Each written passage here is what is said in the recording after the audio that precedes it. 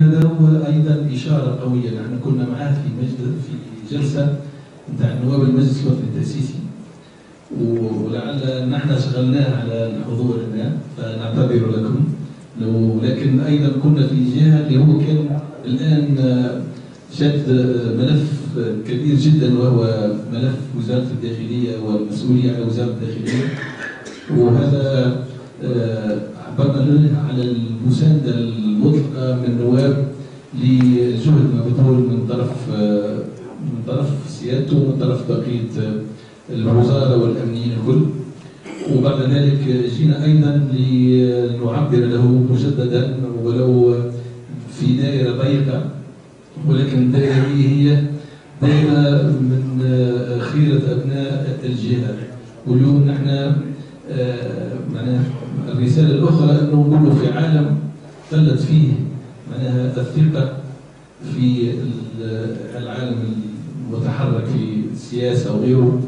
معناها السيد لطفي من جده هو عنوان ثقة الأطراف اللي تحدثنا معها كل وهذا شرف له ولجهة الكسرين اللي كانت محرومة دائما وابدا من أنها تشارك في القرار وصنع القرار السياسي في أعلى مستوياته.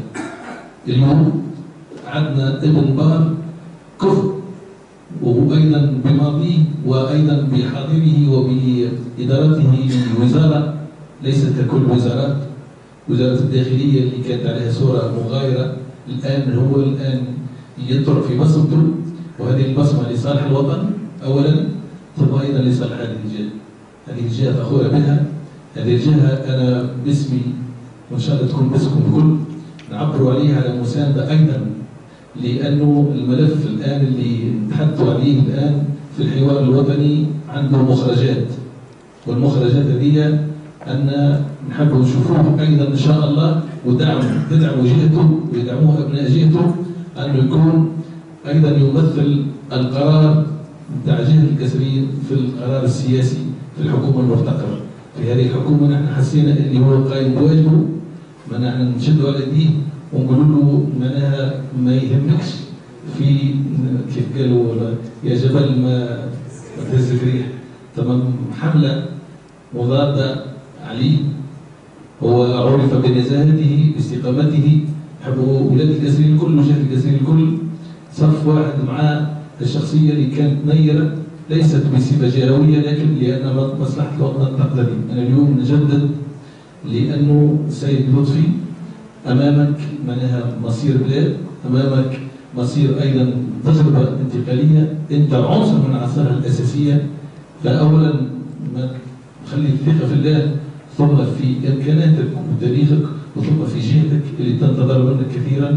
وهذا جهد بالمناسبة نوجهه لكل أبناء الجهة باش يدعموا وكلكم أيضا مشاريع لمواقع قرارات في هذه الدولة.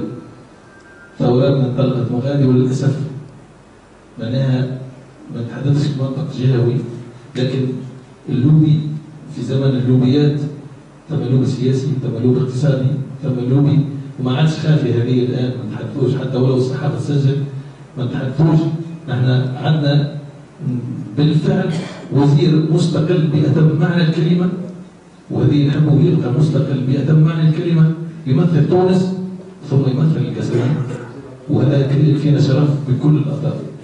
شدوا على يديك إن شاء الله هذوما نهار من نهارات تلقاهم شركاء معاك في دوائر الدولة على المستوى السياسي.